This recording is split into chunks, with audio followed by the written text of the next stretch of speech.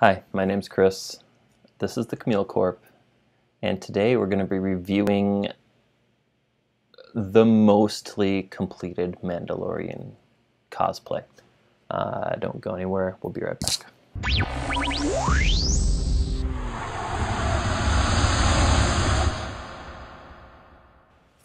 Okay, look, so I've been working on this for probably about a year. I think I printed off the chest about a year ago.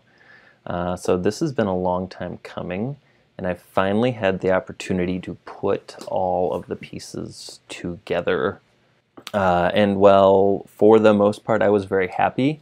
I immediately noticed some things that I need to address. So we're going to look at a couple of screens, and we're just going to kind of talk about what those things are. Okay, so here's the completed set. Um, the the thing that I'm mostly noticing here is how tight that flight suit is. Um, when I bought this back in May, I was probably about 10 pounds lighter than I am now.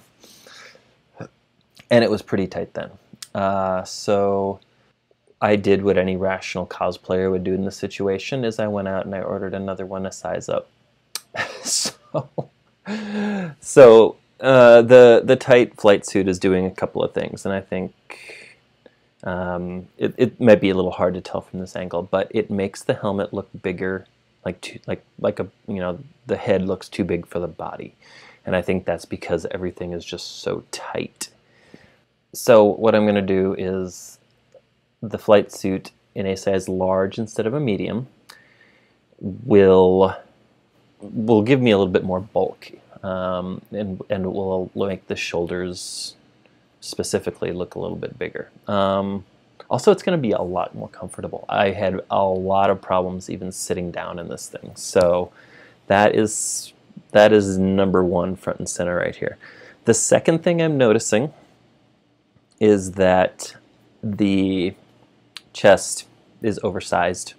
It is clearly too big. It's out of proportion. And if you notice, like right here where it angles up a little bit, uh, that's because it, it was coming up at an angle like this. And I actually trimmed those in so I wouldn't be making contact with the shoulder bells. So I'm going to be reprinting the chest uh, to the appropriate size. And I, and I think that's going to help with some of the proportions.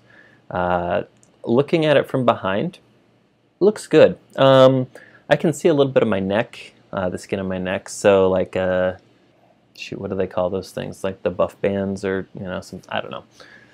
We'll we'll do something there. Yeah. Uh, the other piece that I noticed, especially for this pose right here, is I need a hip plate, and this is actually a great shot because you can see how freaking tight these pants are. Uh, very uncomfortable. Um, we are going to be addressing these things. Probably the next time this will be taken out is going to be in March for Planet Comic Con in Kansas City. Um, me, my wife, and some friends of ours will be doing a Lord of the Rings theme uh, on on the Saturday of that weekend. But I think busting this guy out on Friday is going to be very cool. Yeah. So, but overall, you know, putting this thing on for the first time and just seeing everything together was amazing. Um, some people have told me that, you know, yeah, you're you're probably nitpicking some things, you know, the the, the chest size and the hip plate specifically. Nobody has disagreed that the flight suit is way too tight on me yeah, I really feel like with those modifications, just getting a properly fitted chest. I also, you know, I'm just I'm th- I'm thinking about you know because the shoulders don't look quite pronounced and intimidating enough for my taste. So if the larger flight suit doesn't address that specifically, I'll end up putting some shoulder pads in.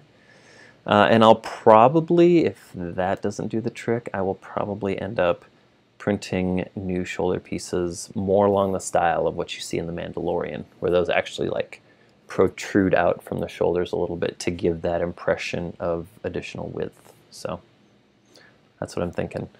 There's also a YouTube short out there that I will link probably up here. Yeah, probably up there. So that's something that uh, you can check out just to see everything while I'm moving, right? You can see how things look a little bit better than you can from the three stills that I showed you. Anyway, a lot of you over the course of the last eight to 10 months have been tuning in and providing feedback and, you know, cheering me on.